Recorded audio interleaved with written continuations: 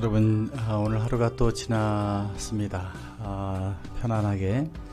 에, 이번에 새로 하는 몇 가지 방송 중에서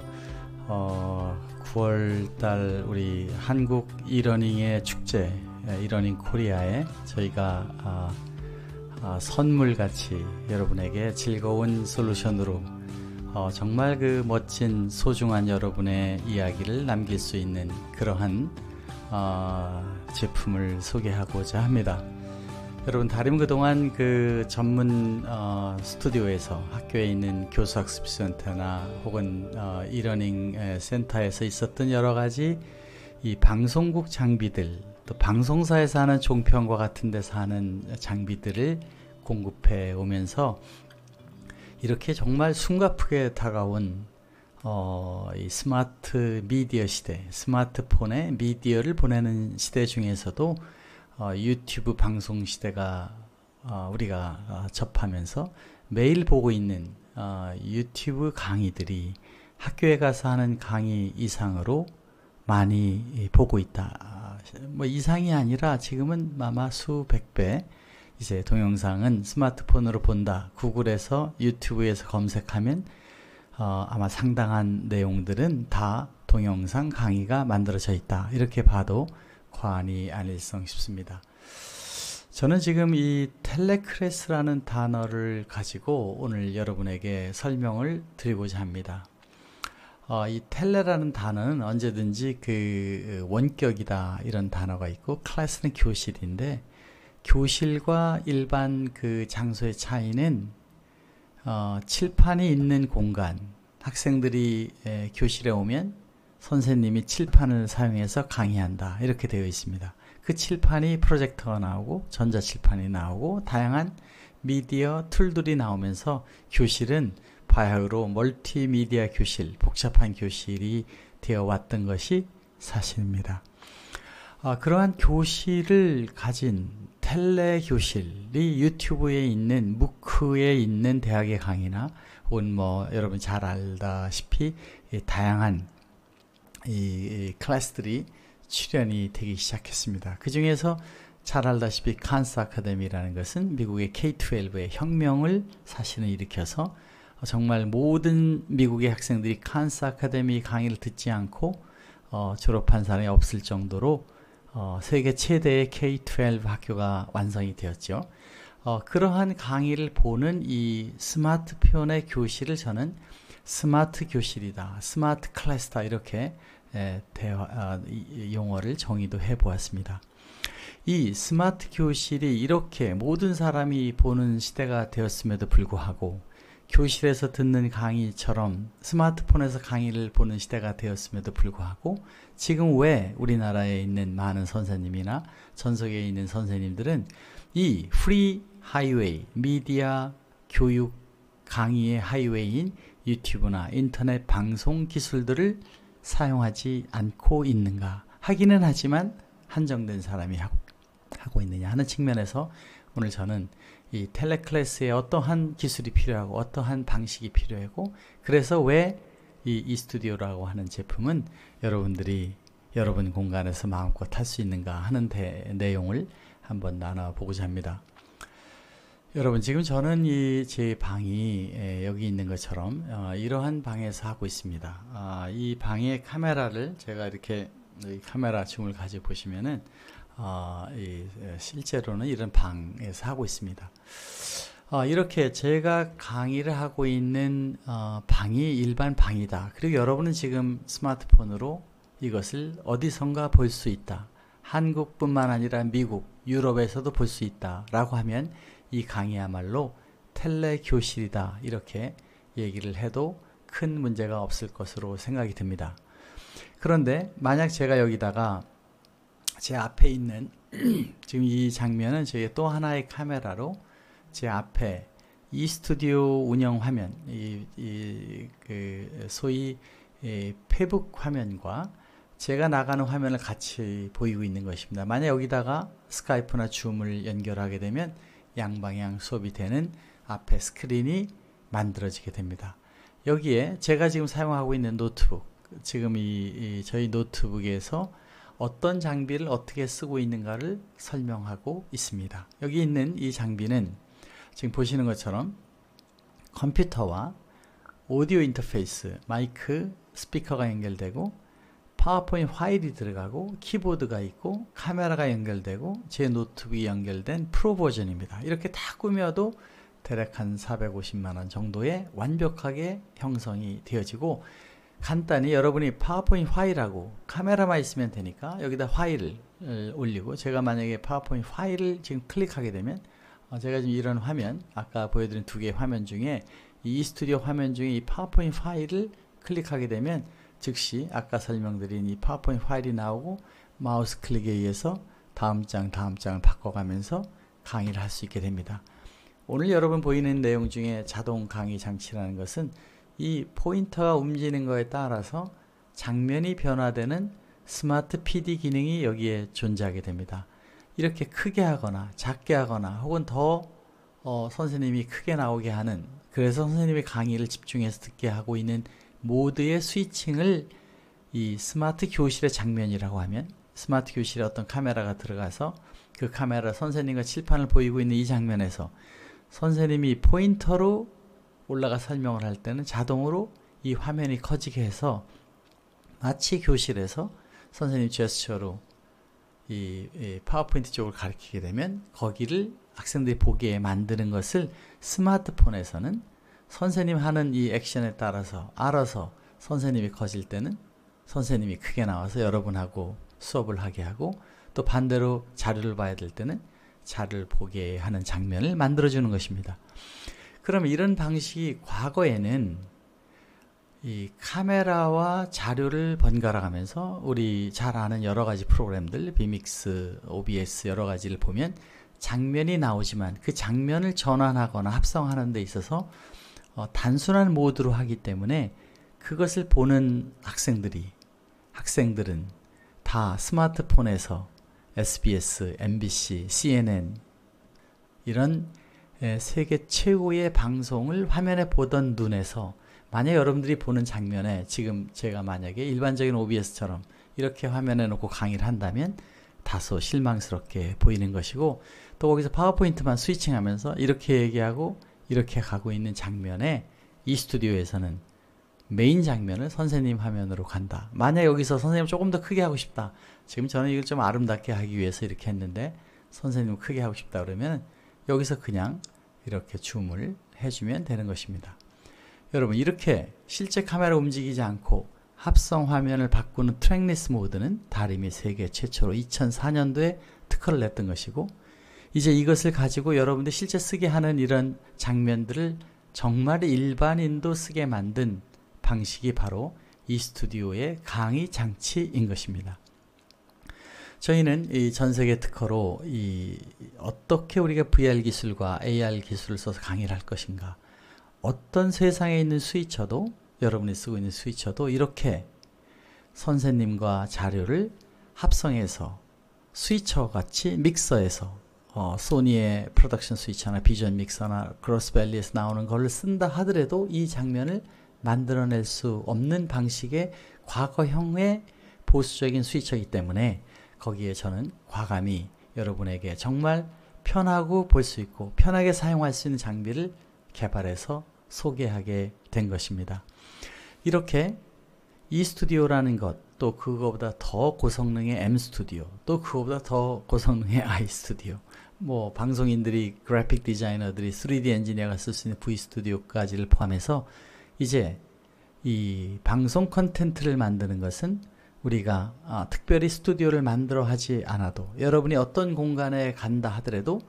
어, 이 스튜디오로 충분히 가능하게 되고 그것을 저렴하게 카메라까지 다림이 선정한 것을 가지고 350만 원 그것도 100만 원만 내면 한 달에 뭐 10만 원만 내도 운영이 된다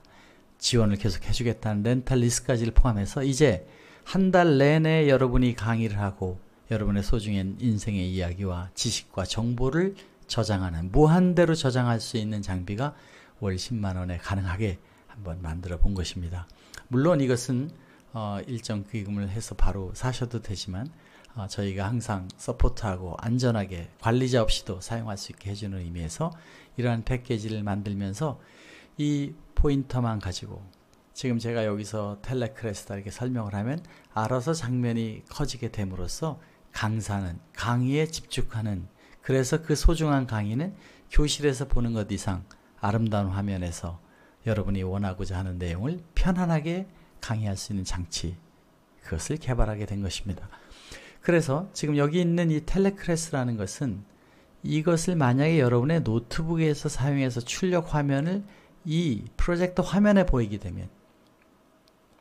이렇게 화면에 나오는 내용이 교실에서 보는 것이 지금 제가 보이듯이 이렇게 얼굴이 크게 나오는 게 화면에 프로젝터 화면에 20배 크게 나와서 선생님의 제스처나 얼굴이나 아까도 말씀드렸지만은 제가 지금 이렇게 여러분에게 얘기하면서 손이 움직이고 손을 자세를 하고 여러분에게 설명을 하는 이 손의 동작과 표정과 얼굴은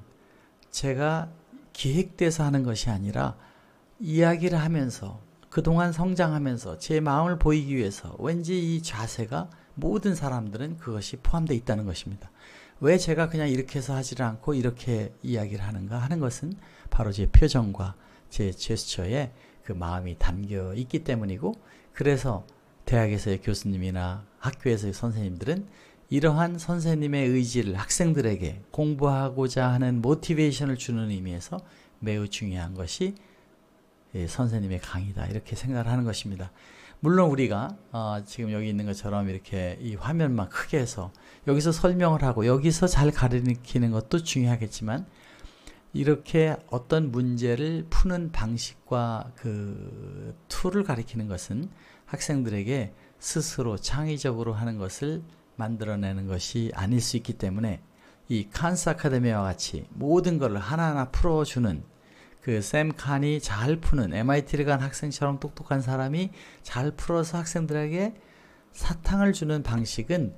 정말 어려워서 못 푼 사람이 그것을 알게 할 때에 마지막으로 쓰는 수도 아니고 학생들은 계속 의문을 계속 어려움을 봉착하면서 스스로 그걸 개척하게 해 나가는 길을 유도하는 것이 스승이기 때문에 우리나라의 대학에서도 또 고등학교에서도 중학교에서도 학생들이 걸음마를 배워 서서 걸어가듯이 지식의 길로 오게 하는 가이드를 하는 선생님이 되는 것이 필요하다는 것입니다. 그래서 이 스튜디오에서는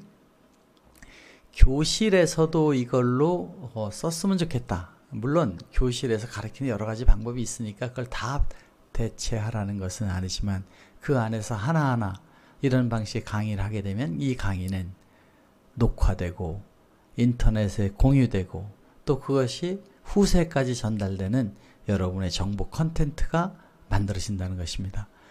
어, 이것을 하기 위해서 저희 다림에서는 이 아름다운 배경과 어, 내용을 교실을 어, 학생들에게 인식하게 하는 tool로 지금 여기 있는 것처럼 이 뒷배경을 어떻게 하느냐에 따라서 느낌이 달라지고 여기에 책상이 지금 있는데 이런 책상을 실제 크로마키가 아닌데도 넣게 하는 기술을 만들어서 어, 이런 효과를 가지고 가상처럼 느끼게 기왕이면 아름다운 공간에서 강의를 집중해서 볼 수 있게 만드는 기술을 제공함으로써 텔레 프레젠테이션은 자료를 원격에 보내거나 선생님만을 보내주는 것이 아닌 지금 여러분이 잘 알다시피 예, 시스코에서 나오는 telepresence 시스템 폴리콤에서 나오는 화상회의 시스템 우리나라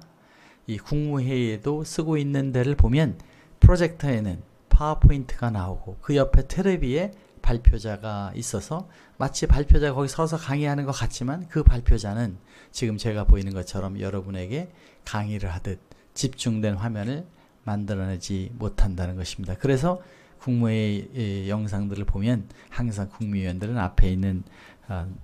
모니터를 보고 거기 파워포인트가 나오니까 저기 나오고 있는 걸 보니까 보고 저쪽에 나오는 강사는 쳐다보지 않는 거예요. 그 사람이 하는 거 알고 있으니까 소리만 들으면 된다 이렇게 하지만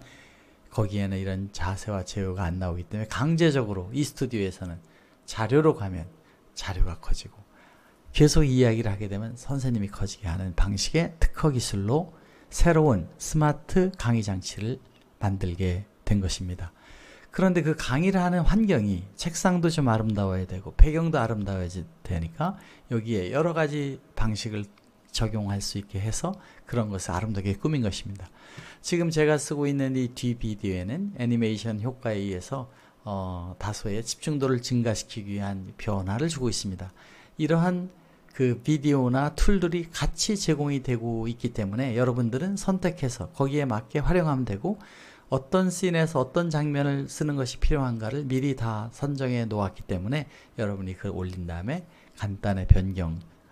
조작을 하게 되면 지금 제가 하는 이런 강의가 만들어지게 되는 것입니다. 무한한 스튜디오를 순식간에 만들어서 갈 수 있기 때문에 지금 오늘도 제가 한두 개를 할 때마다 다르게 해외 할 때 또 이런 장면, 국내 할 때 이런 장면을 하면서 선을 보이고 있는 것입니다. 이 장치는 이제 그 어, 어, 이러한 지금 제 노트북에 나오는 화면인데 이 장치는 어, 이런 노트북에서 스튜디오도 또 장면을 조정하는 예, 모니터를 더 크게 작게도 하고 이렇게 하는 거죠. 만약 이 장면에서 제가 이 모니터에 예, 프레임을 이렇게 없애버리면 은은한 프레임이 돼서 더 편안하게 할 수가 있습니다. 어, 혹은 다른 거를 넣을 수도 있고 어, 이 편안한 프레임도 조금 더 우리가 두께를 더 크게 하면 더 자연스럽게 스며들듯이 예, 만들어낼 수가 있는 것입니다. 이 크기를 조정을 원하면은 그 크기도 그냥 실시간으로 제가 지금 미리 준비한 게 아니라 여기서 하고 있듯이 이렇게 해서 장면을 만들어냄으로써 아름다운 스튜디오를 여러분들이 쓸 수가 있게 되고 여기서 하고 있는 것은 녹화는 물론이고 지금 제가 녹화를 하면서 동시에 페이스북에 방송, 유튜브에 방송하고 있는데 이런 방송 화면들을 만들어내게 될 수 있는 것입니다. 이 장비는 어, 여러 가지 형태의 스튜디오에서도 사용되고 화상회에서도 사용이 되고 이렇게 아까 보여드린 그 화면 여기서 지금 보여주고 있는 이 화면에 만약 인풋을 여러분들이 바꿔보면 제가 이런 데서 하고 있고 또 제가 쓰고 있는 앞에 있는 화면을 보면 어, 이렇게 만들어지지 않습니까? 여기에 나오는 것에 에, 상대방을 보이고 여기에 제 강의가 나오니까 이쪽에다가 상대방을 보인 부분이 지금 여기 있는 것과 같이 어, 이러한 장면 제 노트에 나오는 이런 장면을 만들어내기 때문에 테레비만 두 개 있으면 여러분들은 어, 전 세계 누구랑도 아주 멋있는 스튜디오에서 화상회를 하듯이 발표를 하는 보고를 하는 자료를 보여가면서 설명을 하는 회의를 만들므로써 그동안 불가능했던 tele presentation, 원격 클래스, tele 발표가 가능하게 됨으로써 tele conference가 비로소 완성되어질 수 있다는 것입니다. 어, 저는 이런 방식들을 여러 차례 다양한데 설명을 했습니다. 여기 브라질에 있는 친구, 페친 친구와 어, 이렇게 보이면서 방송도 하고 거기다 이런 자료를 설명하고 하는 것이 동시에 만들어짐으로써 지금 여기 있는 것처럼 어, 지금 제가 이 스크린을 마음대로 이 스위칭하면서 보여주고 있는데